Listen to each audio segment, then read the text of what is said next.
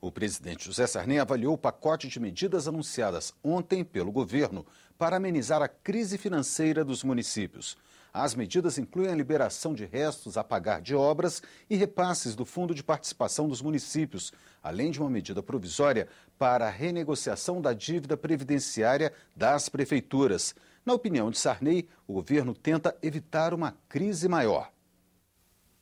Em alguns municípios, muitos, milhares, eles estão é, sem condições de atender aos seus compromissos, não somente de pessoal, como também em relação a fornecedores e serviços, que, bem como alguns estados.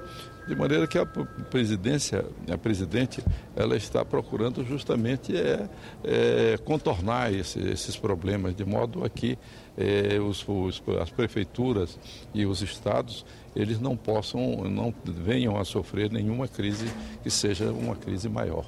Sarney elogiou também o projeto do Senado aprovado ontem na Câmara, que determina que as notas fiscais discriminem o valor dos impostos embutidos nos preços dos produtos. Isso é, é uma maneira de transparência do governo em relação à população e até cria mais responsabilidade pela, pelos impostos que se paga e a aplicação desses impostos. E não é nenhuma novidade, países, muitos países do mundo procedem dessa maneira. É tudo que se deseja no Brasil, quanto o povo paga de imposto e quanto realmente paga pelos produtos que consome. O projeto seguiu para a sanção da presidente Dilma Rousseff. A votação